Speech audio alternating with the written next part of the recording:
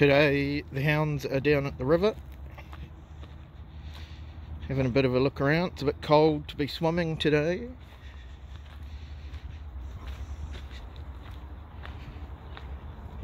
That may or may not stop Angus.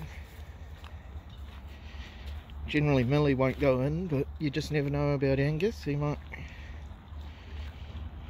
have a little dip.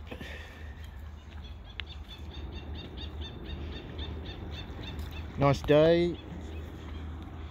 It's been all kinds of rain and coldness, middle of winter lately.